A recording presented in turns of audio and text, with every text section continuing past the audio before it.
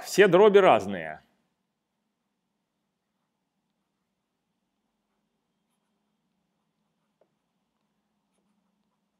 Сейчас мы вспомним некоторую лему, которую мы доказывали в процессе доказательства основной теоремы арифметики, и именно ею воспользуемся. То есть а, к, собственно, формулировке основной теоремы арифметики даже не будем прибегать, к основной леме прибегаем.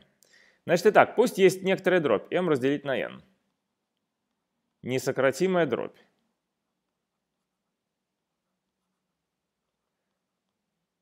Так, напоминаю, что дробь несократима, если это как бы ну, минимальная по эм, использованию чисел числителя и знаменателя, ну, самая, самая экономная как бы запись числителя и знаменателя как можно меньше по модулю. А вот.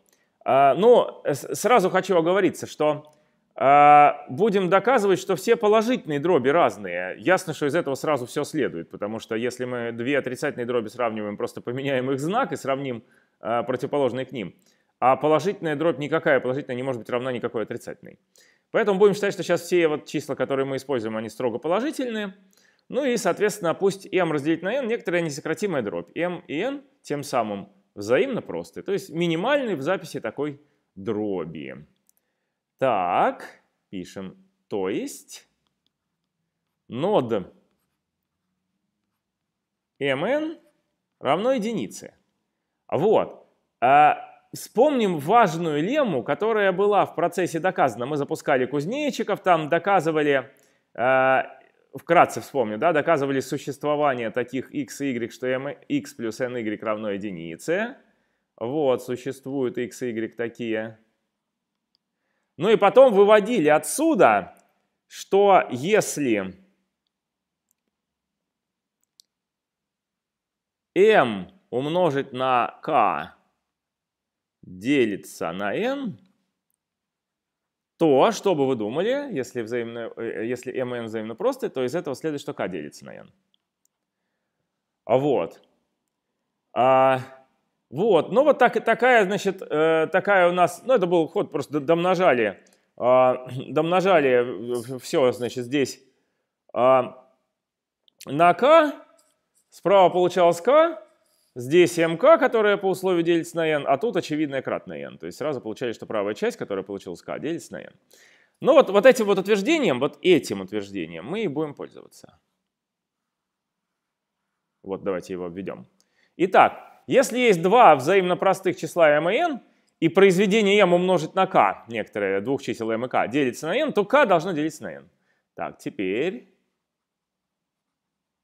пусть k разделить на L, другая несократимая дробь, другая не в смысле равенства количества, а в смысле записи просто. Другая запись, другие два какие-то числа, значит, э, которые тоже взаимно просто. Другая несократимая дробь.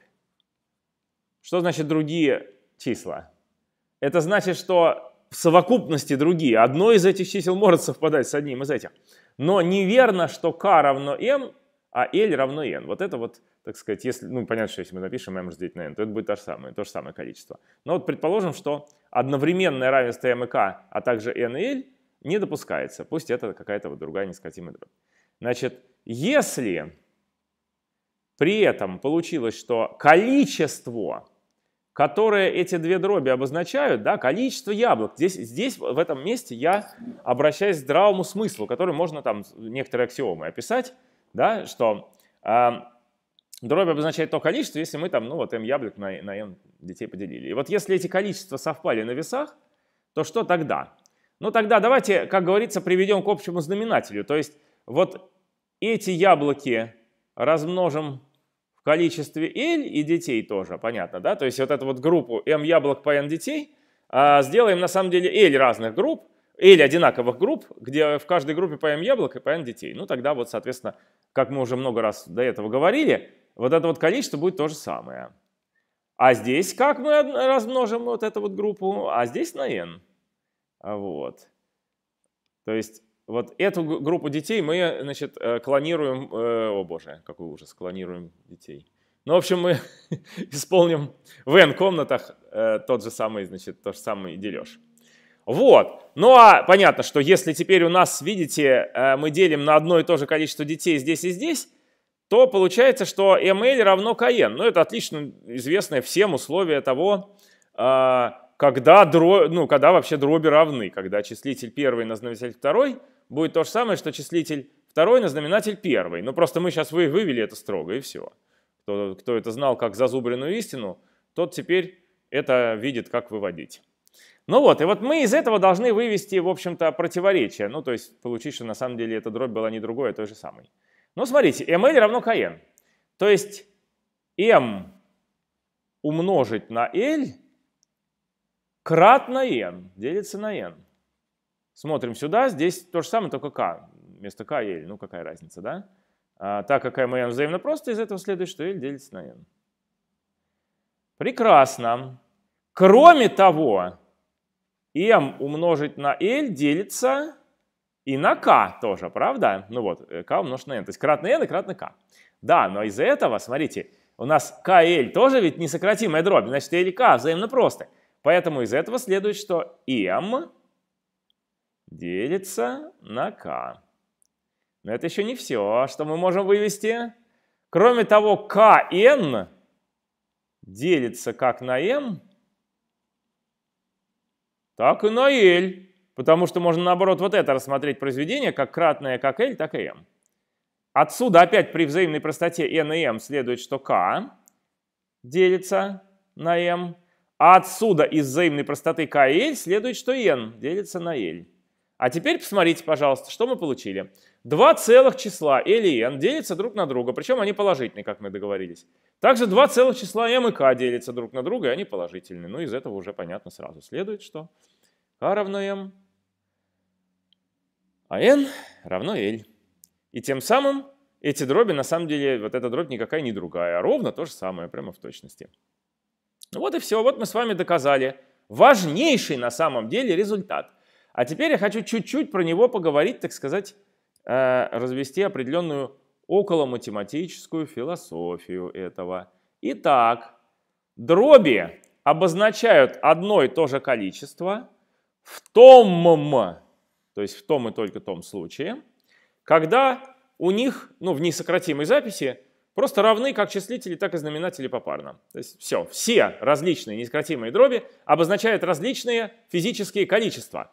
Это самый, наверное, важный результат начальной школы. Ну, второй по важности после основной теоремы арифметики, являющийся ее следствием.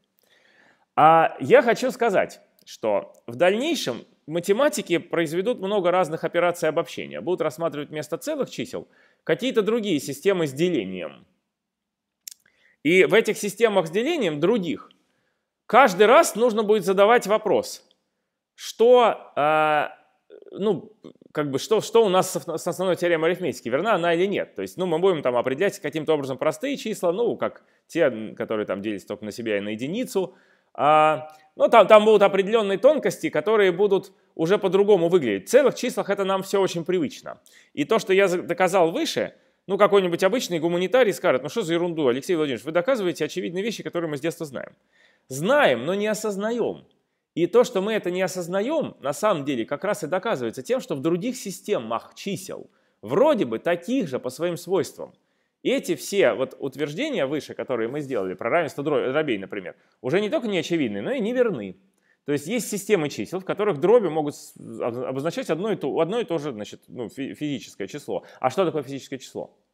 Если там нет никаких количеств, это же как бы здесь мы делили целое на целое, получали количество яблок на детей там, и так далее. Что это будет? Э, что будет дробь вообще обозначать, если есть произвольное кольцо? К – кольцо. Что такое дробь? Если К кольцо, то мы умеем в нем только складывать, вычитать и умножать. А делить не всегда. Ну, просто по определению. Кольцо — это система чисел, в которых по, по обычным правилам производятся вот эти три операции. Ну и в частности, кольцо — это группа относительно сложения. А теория делимости возникает значит, из того факта, что не все на все можно поделить, поэтому возникает нетривиальная нетривиальная теория делимости. Вот. А Ну и, собственно, она начинается с главного определения, что значит, что А делится на b.